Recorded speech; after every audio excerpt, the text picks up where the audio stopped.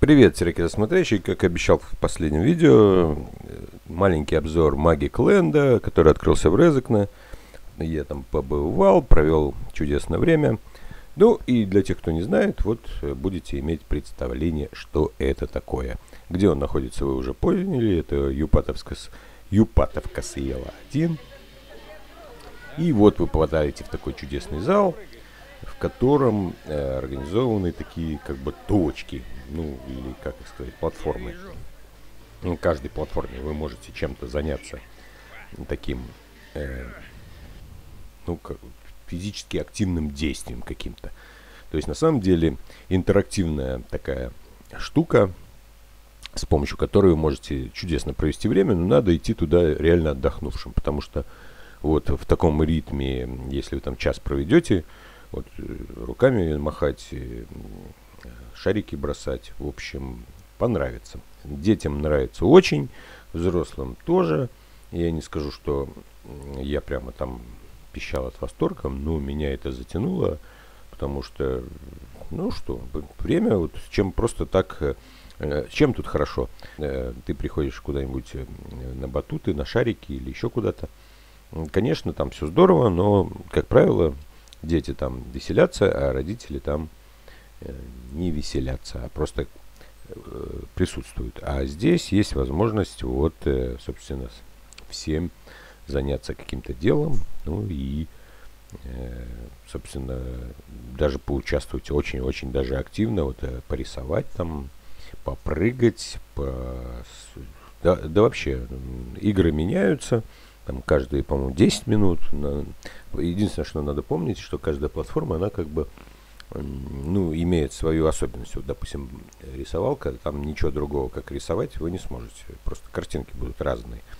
Там, где бросаешь вот шарики э, в стену, там все время бросаешь шарики в стену. Тоже картинки разные. То есть, то там пираты, то там кубики, то там... Ну, вот видите, трактор, то трактор надо рисовать, разрисовать, то еще что-то. И так на каждой станции. То есть там э, предназначение этой станции, оно не меняется. Если ты там давишь э, червячков, значит, ты будешь в следующей игре давить э, кубики или там скакать на каком-нибудь э, паркете. Ну, в общем, ногами. Вот как тут, например, да. Э, можно играть вдвоем, можно одному. Игры разные, и, собственно, от этого и будет зависеть ваш успех. Здорово, когда народу мало. Почему? Потому что вы можете в какую-то игру сыграть от начала до конца. Если народу много, то получается, что надо или ждать, или вам кто-то будет мешать, потому что, ну, допустим, дети, они же непосредственные, ребенок кидает, а второй подбегает, тоже кидает. То есть чистый результат вы не сможете набрать. Ну вот этот песок, очень интересная штука.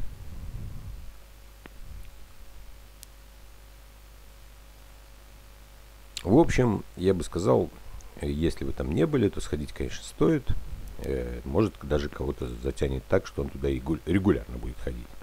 Ну, а общее впечатление из 9 баллов, э, с 10 баллов, пожалуй, 8 или 9, потому что в жаркую погоду там реально душно, потому как работают эти вот проекторы, они выделяют много тепла, вентиляция есть, но, конечно, хотелось бы, чтобы там кондиционированный воздух какой-то был, потому что, когда я там был, там было жарковато.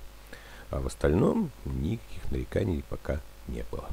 Всем удачи, всем пока, да, осматривайте. О, как тут копать надо. Представляешь? Головой думать надо. А тут это тебя снимает. Да.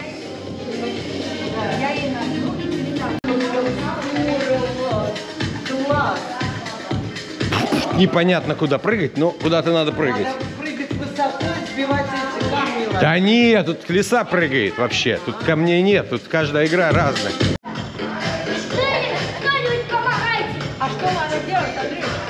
Сбивать тарелки, чтобы они не украли коров. Да ладно.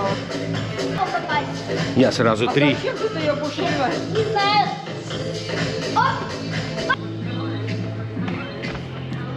Да, заяц. А можно выбрать героя или того, кого предложат? Знаю, наверное, сами по себе поиграем.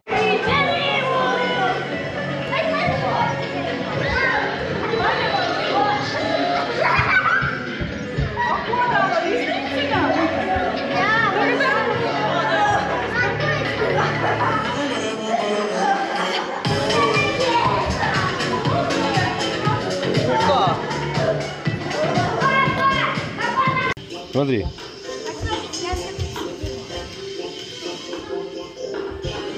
Ну, тебе нравится шарики лопать? Смотри. Все, лопнули шарики. Все, еще один. Опа, лопнули. Опа. Оп. Как котик. Нормально? Смотри, он ложится. О, можно погладить его. Да. Вот он на тебя смотрит, когда ждет, когда ты его погладишь.